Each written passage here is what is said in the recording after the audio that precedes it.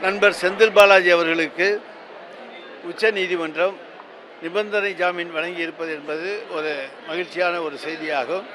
என்று சொன்னால் கடந்த பதினைந்து மாதங்களாக அவர் சட்ட போராட்டம் நடத்தி வந்திருக்கின்றார்.